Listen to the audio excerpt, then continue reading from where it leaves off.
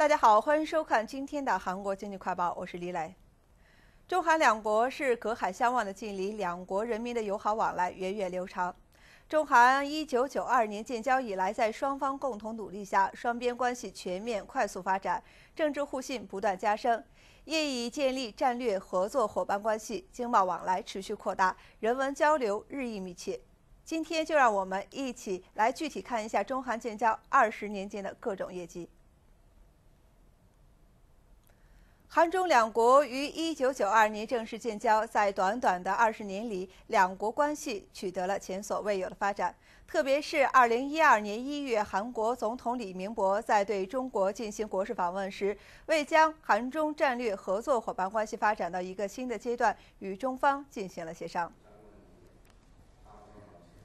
目前，两国已超越了以经济、贸易、文化领域为中心的初级合作阶段，不断推进政治、安全、军事等各方位的合作。自2008年韩国现政府上台以来，两国共举行过34次韩中首脑级会议、三次总理会议和23次外长会谈，高层交往十分频繁。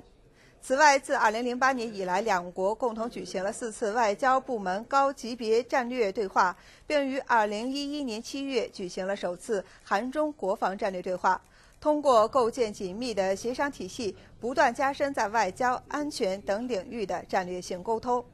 2011年，中国已成为韩国的第一贸易大国、出口进口对象国，韩国也已成为中国的第三大贸易对象国。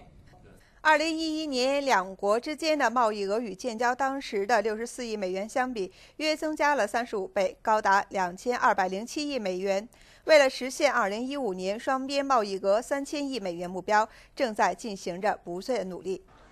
两国之间的人员来往也比建交当时增加约五十倍，达到六百五十三万次。每周共有八百三十七次航班来往韩国七个城市和中国三十个城市。